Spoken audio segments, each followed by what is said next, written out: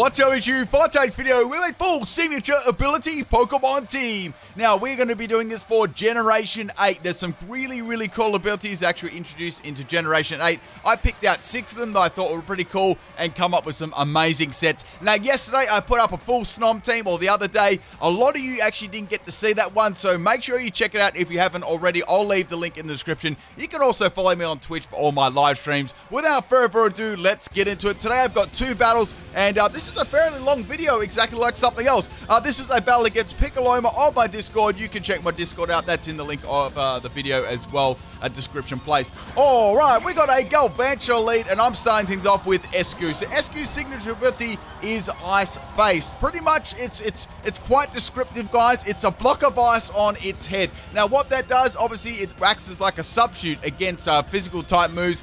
Unfortunately, on the special side, it doesn't work too well, but on the physical side, it's very, very good. Now, I actually, can uh, take one hit and then obviously it falls down, and also changes the form of the Eiscue too, so it's a little bit more tanky on this side, and uh, when the ice block goes, it's a little bit more offensive. Now, you can actually get that ice head uh, coming back with the uh, hail falling on the field, so you can Dynamax your Pokemon, get that hail to fall, and get the ice face to appear again. So it's a very, very good sweeper uh, in that sense. Now, on this set, I'm running a special one. We've got Soak and Freeze Dry. Actually gets those two moves, which are pretty cool. So we're going to soak that spider down the water spout, and we're going to freeze it, and it's going to go down in one shot. Now, the other moves I gave it were Hydro Pump and Substitute as well we had uh, max speed and max special attack. I gave it modest nature because I wanted to hit as hard as possible because its special attack isn't all that good.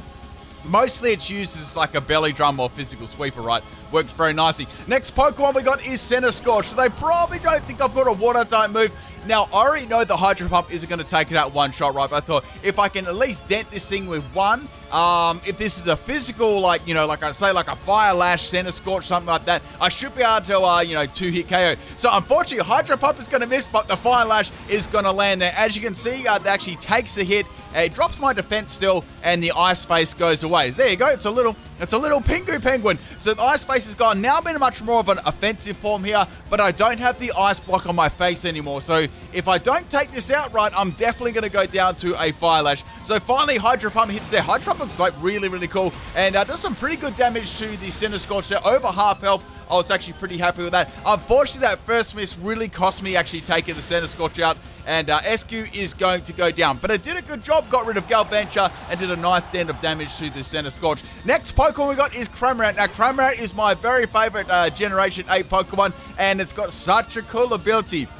Now, Cramorant, in its design, looks a little bit plain, right? But it does have like this super, super cool ability. It actually does a couple of things. It's got Gulp Missile as its ability. So you might have seen like a little fish or a Pikachu in its mouth. It actually has two different effects. So when you use Surf or Dive Right, you can get the effect to actually happen. And uh, as you can see, the Centiskorch is going to go down to that surf. And now I've got a little fish in my mouth, a baby Barraskewda. So since I've got this little fish in my mouth now, after if I get hit by this, it'll actually fire off uh, some damage against the opponent. And it does a quarter damage to the opponent and drops your attack by one stage. However, if you're on a quarter or lower health with the Pikachu, you have like a Pikachu in your mouth, and the Pikachu actually paralyze the opponent instead of dropping uh, the attack stat. So it's got two different little effects. So Golisopod's going to go for a first impression there. I'm going to spit my fish right at its face, does some pretty good damage, and uh, we get a nice attack drop there too. Sorry, defense drop if I said attack. Um, we got Rocky Helmet on this set as well, so I thought that could work really, really well. So some like extra, extra damage. So we got max speed and max special attack in the rain, this thing hits pretty hard. Plus, we've got Hurricane as well, so Hurricane is going to be 100% accuracy, and uh, we're also going to have Surf hitting a little bit harder. Now, I can go for an Endure here to actually get that Pikachu up on Cramorant, and then I can spit that Pikachu right back at the opponent and uh, get some extra Rocky Helmet damage. That was sort of like the plan on this set. I reckon the move Endure is like really, really perfect for this Pokemon because you can you can almost choose what effect you want to have, right? So we've got a Liquidation from the Golisopod. Even though it's not very effective, it's got the rain up and it's definitely going to take me out. So it's a definite good thing that I went for the Endure there. So not only did Endure actually uh, make me live that one, the Rocky Helmet actually activated the emergency exit, swapping out the Golisopod and uh, a new Pokemon is going to swap in. So that's pretty nice. I'm happy with that one and we're also on one health too. Now, obviously, you need to get the uh, the effects by going for a dive or a surf. Surf generally uh, is, is, a better move because um, you know dive takes two turns. Anyway, so we got the Durant coming out. Durant is much faster than me. So I'm a little bit worried here. I don't want to swap out because there's really not much point to this stage. So like, okay, if it's going to be a hustle set, it could miss, or, you know, they could try and set up. And we got Crunch missing there, which is great. And uh, now we got activation. As soon as I seen the miss, I knew this thing would have blunder policy. What blunder policy does, if you miss due to accuracy, it'll boost your speed, which is pretty cool. So go for that surf in the rain there. Durant's special defense is like rather bad. And now I've got a Pikachu in my mouth, people. This is this is still my favorite Pokemon in Generation 8. So now I've got a Pikachu squirming in my mouth, which is like really, really nice. I can go uh, for a Endure here. So what that's going to do, the Golisopod's going to have to attack me, right? It doesn't matter you know what it does to me. If I go for Endure, the Pikachu's going to get spat at it, right? And it's going to do like a quarter damage. And then it's going to do actually paralyze the opponent as well, which is really good. And then Rocky Helmet is also going to kick in as well. So sort of like a little strategy uh, that I came up So we've got an Aqua Jet here. I thought this was an Aqua Jet or Sucker Punch. Usually it's got one or the other or both. And uh, we're going to spit that Pikachu right at the Golisopod. It does some really good damage there and paralyzes it. Uh, we've got a paralyze now. I can go for some extra Rocky Helmet damage, but the opponent lives on one health one health. I actually thought it would take it out. So now I've got to run the risk here of attacking them or swapping. I thought maybe if I just attack them, they could get paralyzed, and then we can start the, uh, you know, shenanigans all over again, I guess. Anyway, I went for the risk, and unfortunately it didn't pay off, but Golisopod is actually going to take my Cramorant down. But Cramorant actually did really well then. I think Cramorant actually took that Golisopod out only with it. I think it only took it out with a fish Pikachu damage a Rocky Helmet. I don't even think I attacked that once with Cramorant. That's crazy. Okay, so we got uh, four Pokemon down, so things are looking pretty good at the moment. I'm uh, I'm like super happy about this one. So now the next Pokemon coming is the Frost uh, Frosmoth. Frosmoth looks pretty cool, shiny. Its wings are sort of like trans. Wait, are they transparent green? I'm trying. I'm trying to see if they're green or is that the stadium? I think they're green. Okay, uh, anyway, we've got the transparent... No, they're green. I actually consider a slight little green tinge to them and its, and its eyes, of course.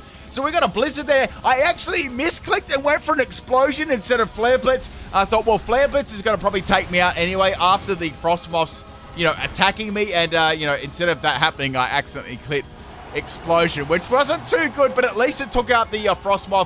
And I still got three other Pokemon, so it wasn't so bad there. But make sure you pay attention to your moves, people. Next Pokemon we got is the Butterfree. Uh, Butterfree probably would have outsped me anyway if I lived and, you know, taken me out with whatever, hidden power ground or something. All right, next Pokemon we got is the Butterfree. I've got Runerigus. Now, Runerigus has Wandering Spirit. Wandering Spirit is pretty much just like Mummy on Cofagrigus, right? So it uh, passes the uh, Wandering Spirit to the opponent, and then you get the, uh, you know, you obviously you get the opponent's um, ability too. The only problem with it, it can keep passing back and forth on contact and things like that. So you don't really retain the ability. If, if, if you could retain it possibly, but there's a high chance of it, you know, the ability swapping to the opponent, right? It'd be great if it, uh, if it didn't, right? So now we got our big old G-Spot Butterfree here, and I've got on this set a Trick Room, Phantom Force, Earthquake, and Destiny Bond. Now, I can't use Destiny Bond against this uh, Butterfree at all because it won't work for a start. So I thought, okay, if I set up the Trick Room here, I've got a couple of other Pokemon. I might be able to you know, swap in Runerigus later on uh, when there's like, you know, maybe one or two turns of Trick Room left. And, uh, you know, and when it's not in uh, G-Max form either, and then I can take it out that way because this thing hits pretty hard, right? So I'm guessing that's coming off, I'd say, Giga Drain. Uh, the good thing about that is I got a little bit of health recovery. Now, I've got two other Pokemon that I haven't used yet. I thought I could swap them in. I thought here Toxtricity would be a good swap in because it would resist that move, and I'm pretty sure Butterfree is going to go for that move as well. So, Toxtricity. Let me bring that uh, set up. We got a, uh, I got a mix set on this one. We got Shift Gear, Boom Burst, Gunk Shot, and Drain Punch. And we got the uh, ability Punk Rock. So what Punk Rock does, it boosts uh, sound uh, sound-based moves by uh, 0.5 which is pretty cool. And also got the uh, throat spray item on there as well, which is going to power up the boom burst. Uh, this is like a fully mixed set, so I can disguise as like a special one, but I've got shift gear to boost my speed, and I can fire off some pretty nasty gunk shots as well. So gunk shot really, really hits hard on the Butterfree there. It's a, like a definite two-hit KO. Unfortunately, we got a max Mind Storm, and Toxtricity is going to go down there. Doesn't matter. I did a lot of damage there. We still have uh, one more turn. Sorry, we got one, one more turn left on the Dynamax. So the G-Max Butterfree, but G-Max Butterfree is going to go small the next turn, so we're done. Now I can swap in Cofagrigus and either go for a, uh, you know, a Destiny Bond, or I can go for a Phantom Force. This is a Phantom Force Power Herb set to max health and max attack Brave Nature under Trick Room. So you want to go for those zero IV, like IVs there. I nearly said I booze. Okay, I can go for anything. Destiny Bond. Uh, I mean, Phantom Force will take it out. I'm just going to go for Destiny Bond. It doesn't really matter here. So I thought, you know, Butterfree should, uh, you know, definitely be able to take me out at this range. So go for the Destiny Bond, hoping the Butterfree will take me down. And Butterfree is going to be going for a Giga Drain like I knew it would. And uh, unfortunately for me, Giga Drain actually doesn't take me out. I live on three health. And now Butterfree is going to get the health back. So like, oh, that didn't really work out really like, uh, like I wanted to plan. So I can go for a Phantom Force here. I've still got one more trick for him up. And, you know, your Butterfree's defenses aren't the greatest in the world. So going for the Phantom Force, I've got the Power Herb, so they'll activate it, like, right away. And Butterfree is going to get spanked on its little purple bottom. And that one, my friends, is the first game. Hope you enjoyed it. Uh, Runerigus's attack actually isn't all that bad either. It's sort of better, at, like, support, in my opinion. But, uh, at least it has some sort of, like, presence about it. All right, let's get on to the second battle. Now, the second battle, I got to feature the Pokemon I didn't include in this team. I probably put it in the thumbnail, which is the Cursola. So I will show the Cursola in this battle.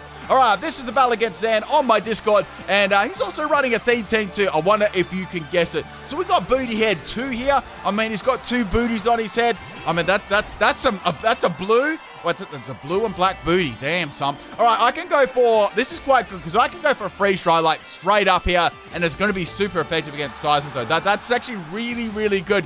So go for the freeze dry on the Seismitoad and uh, poor Seismitoad is going to go down in one shot. That was a really, really harsh matchup you know, for uh, the Seismitoad there. All right, next Pokemon we got coming out is a Booty Pincher. Now, uh, I mean, I don't know if I want to sit on that uh, at all. I they call like it could be it could actually be called pin cushion as well. It's like a little pin cushion. You have the you have the little cushion. You put the needles in there. My nan used to have one of them like 69 years ago. Anyway, um, I can't do it a lot against this Pokemon. All I can do is go for the soak and then go for the freeze dry. I think it'll be like a one to two hit KO against Pincurchin, depending on like what EVs are and stuff. So going for the soak there, at least I can get rid of um its stab as well. And now we got a curse coming from the Pincurchin. So I do have the ice face up, so if it does plan to go for any physical attacks, you know, I'm going to be able to get around that one too. Uh, the electric terrain is on the field, so any electric type moves are going to be dropping pretty hard there. Now I can go for a freeze dry. There's no point go for a hydro pump because now it's now a water type. So go for freeze dry on the Pincurchin, and uh, little Pincurchin gets hit really, really hard. It gets out. It doesn't take it out. It's fairly bulky. It's all like Pyukumuku, like rip off Pyukumuku, but with a little bit more attack presence to it and uh, a little bit less bulk. Okay, so Ice Face is gone there, which is like you know good for the opponent. I don't really, I, I could Dynamax here and get that back, but I thought, nah, it's a little bit like early on the game. I could just go for another freeze dry and, you know, take this out quite easily. The only thing I was worried about here if I actually missed the freeze dry, which I didn't. So Booty Pincher is going to go down. Have you figured out what the team is, people? Have you figured out? Okay, next Pokemon we got is uh my smelly, uh, your smelly booty, smelly my booty, your smelly booty, guys. Get get that smelly booty out of here. So Skuntank is a pretty uh, bulky Pokemon, right? So I thought let's just go for Hydro Pump and get as much damage on as possible because there's no point going for a Soak. Um, I don't want to like look, like waste any turns, right? So now we got a flamethrower coming from the Skuntank, and uh, it's going to hit me pretty hard. The Skuntank has a lot of like uh, cool, interesting moves it learns too. So this was actually really bad. Um, but, more for me, right? So I put a wiki berry on this set, right? But then I forgot it was the wrong berry. Like I was going from my bag, putting the items on. So if you obviously if you do the wrong berry, you actually get a confusion. So if it's negative, um, like negative special attack, right? Um, with with the wiki wiki berry, right? At least the tricky wiki berry, it'll actually confuse you. So unfortunately, I put that wrong item on there, and it actually cost me to hit myself. And now the Skuntank is going to take me out with flamethrower. Don't ask me how Skuntank actually knows flamethrower. Like I'm trying to imagine a skunk going for a flame flamethrower. Um, I, I, really can't imagine that. But but yeah, my, my wrong item actually like messed me over there. So I've still got five more Pokemon. I've taken two out with that, so I wasn't really, you know, I wasn't actually too worried at all. Now, the next Pokemon I could use against Skuntank um, to hit it like pretty hard would be my Cramorant. You guys seen this strategy already? It works pretty good. I might be able to get like some Pikachu paralysis up or even a little Barraskewda baby against it. Now I can go for Surf, I can go for Rain Dance. I decided to go for Surf because I want to get my ability Gulp Missile going. Um, do you guys like Cramorant? Like it's, it's, it has to be like my favorite Gen 8 Pokemon, like quite but like quite a lot. Anyway, we got a G, a G, no, we don't have a G spot. We got a Dynamax Skuntank. This is this is one smelly Skuntank, guys. I've actually never seen a skunk in real life, like just like you know go past. Are they actually really smelly in real life? Can someone in the comment section tell me that? Um, or is it just like a, is it like a, a skunk stereotype? Anyway, we got smell, uh, smell my booty uh, coming up here. If this hits me with any kind of poison attack, it's to boost its special attack. That's sort of what I was thinking it would do, right? So now I'm to transform into my little baby Barraskewda form, and it's to go for a max ooze. Like I caught it, I kind of expected it to do that. So it's a three hit KO. Um, after the ooze boost in special attack, it will not be a three hit KO. It will be a two hit KO. So I'm going to fire off my little fishy again there. Does some uh, good damage to the Dynamax Pokemon and drops it. It uh, not attack defense. I always get the attack and defense mixed up. Now, the problem is that it actually got a little bit of recovery from the uh, Black Sludge as well. So, uh, most, well, I mean, uh, probably about half the damage I did to it from the uh, Baby Barraskewda is healed. Now, I've got to think here. I was thinking, should I go for Endure, right? And then attack it, or should I just, you know, attack it? So I decided to go for the Endure and stall that uh, Dynamax out a little bit because Dynamax is such a powerful mechanic. Like, you pretty much have to take the Dynamax Pokemon out, stall them out, or make them swap. That's the, that's the only way to get around it, right? It's a very, very powerful mechanic. So I'm going to endure that hit, which is really nice, at the cost of giving the Skuntank another special attack boost and some more recovery. Now I can go for a Surf here and get some more damage against the uh, Skuntank. That was sort of like my, uh, my, sort of like my last option there. So I've got my uh, I'm on low health. I can get the Pikachu in my mouth now. The good thing is you get the Pikachu in your mouth before the opponent attacks, so that Pikachu will fire off and paralyze the opponent. So down goes. The Cramorant actually did pretty well there. Um, it didn't do like a lot of damage, but his ability and stuff actually come in like really, really handy. Almost took it out there with the Pikachu. One day I've got to do a full Cramorant team. Someone better suggest that in the comment section one day. All right, so we've got a little bit more recovery there on the Skuntank. I've still got four more Pokemon that I want to use against this. So Toxtricity, it's time to shine, baby. So I was like, okay, this will probably be able to wreck me with the Flamethrower. I'd say it's got, what's it got now? Plus two or three in special attack. Uh, but it is paralyzed. I don't think it's got Sucker Punch on it. That's like the only other thing I could uh, think of, but not that it was going to do any damage uh, to me anyway. So go for the Boom Burst here. I sort of want to make them think that it's a, a special set, but it's not. And uh, I actually want to activate my Throat Spray as well. So critical hit there. It, it, totally matters, guys. I wouldn't have got that KO otherwise. So uh, the Throat Spray is coming to effect here. I think Throat Spray is pretty much brought in for Toxtricity. Like, it's of like it. All right, so Bang My Booty's going to come in here. How did, like, seriously, like, honestly, like, how can Pimp not go through, but Bang My Booty goes through as a nickname? Like, how does this even work? All right, so Bang My Booty, right? Someone's going to make that into MP3 clip. I just know. They're going to make that shit as their ringtone. Like, you know, the, the, the, clock strikes 5 o'clock in the morning, and my voice will be like, Bang My Booty. Get, get that on your alarm clock, boys and girls. All right, so down goes my Toxtricity. I would have loved to use Gunk Shot, but I got outsped. So Runerigus is going to come in. Uh, this is actually a really uh, threatening Pokemon for my team. I had a lot of trouble with this. Now we got Trick Room, Destiny Bond. I know that I definitely know that I won't be able to take this out. Probably about like two to three hit KO with Phantom Force. And after my Power Herb's gone, it's not like I'm going to be able to, you know, live a couple of grass attacks too. So it's going to go for a bulk up. I'm guessing it has drum beating because, uh, you know, bang my booty and stuff like that. And bulk up. Uh, so we got the Trick Room happening on the field here. I'm going to swap Runerigus out. And now I'm going to go into Cursola. Now we didn't get to see Cursola in the last battle. Cursola is a Perish body set. So when um when Cursola is hit by uh, like a, a, physical move, which is um like uh, contact, it'll actually activate uh. I lived on one health there. That was so so lucky. And uh, is actually going to be under the Trick Room. So I have an opportunity to go for the Sap Sipper. Not Sap Sipper, the Strength Sap on uh, Bang My Booty. Man, how many times have I said Bang My Booty in this battle? Someone better check that too. All right, so we got Strength Sap. I've got to do this. I've got no I've got no hope of actually taking this out apart from actually dropping its attack. So all I can do is helplessly go for Strength Sap and hope this uh, doesn't actually take me out the crit. So obviously I'm going to get all my health back.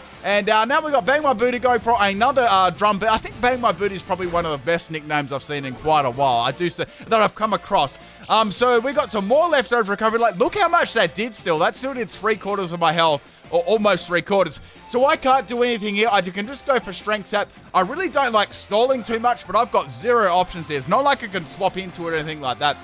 And uh, I, I wanted to get the, um, if, uh, if, to take it out right, I was like, I want to get the uh, Rillaboom in range of my Cofagrigus, you know, to take it out. Um, maybe not in this matchup, like I want to get rid of its stats, and then maybe on in the, later on in the battle, right? So as you can see now, the drum bed is not doing as much damage as before. It's only doing half my health, so it's a clear 3 hit KO. They could go for another bulk up, but there's really not much point. I can just keep dropping their attack. So I'm expecting a swap very soon. We're hoping for a swap. And uh, now we got mostly Booty coming in here, which that's actually a pretty good name too because it actually, it legitimately is mostly Booty. So we're going to go for a Whirlpool there, spin right around, baby. And uh, we've got a little bit of uh, trapping going on here. So the idea of this set is, right, we got Whirlpool to trap the opponent in, right? And when uh, we got a physical contact new move hitting me, right, Perish Body will come into effect, and that'll have the effect of Perish Song. However, that'll faint uh, both me and the opponent in three turns. So obviously, I stall the opponent out until that time, right? And then I, on the last turn of the Perish Body, I'll swap it out, and the opponent will, uh, you know, get KO'd. I was actually going to get a sweep on this Pokemon before, but uh, you know, I got timer stall. So anyway, uh, speaking of getting wrecked, I got uh, wrecked by Dragon Tail Hustle there. I got critted. I don't know if that mattered, but uh, that dropped really, really hard. And Perish Body comes into effect. So as you can see, the opponent now has three turns, exactly like Perish Song. Right.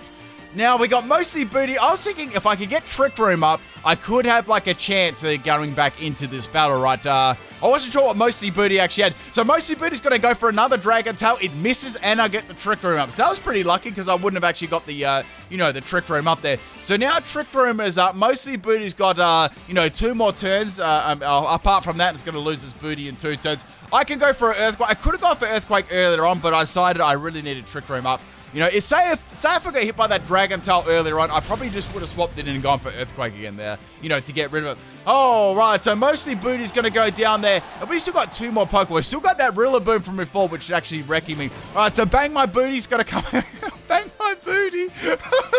oh, my goodness. All right, so Bang My Booty's anyway is going to come in. I'm going to go for the Phantom Force, Phantom Force Power Herb and Spank Booty on the bum, uh, on the drum, I mean. And it's, it's still not a two-hit KO. It's still, like, way off. So we got another drum beating here. Now, the good thing about drum beating is it doesn't have any, like, uh, plus ones in attack or anything like that. So it's not as scary as it was before. So it's also going to drop my speed, which is good under the Trick Room. And plus, it's got leftovers. So I've got no way of taking this Pokemon. It's, like, way too bulky um, there's no way I'll be able to take it out with Phantom Force, so I'm going to go for Destiny Bond and uh, cross my fingers and hope to the booty god that they go for another drum beating, which they do. And uh, I'm going to go down, but so is the Rillaboom. Now, I've got one more Pokemon left. I had a plan, but I was a little bit worried about the Trick Room too. Uh, when I say Trick Room, I was talking about like the amount of turns that it had left. Uh, so Bang My Booty is finally going to go down. That was the M, but that was the definite MVP of the team. That was such a scary Pokemon.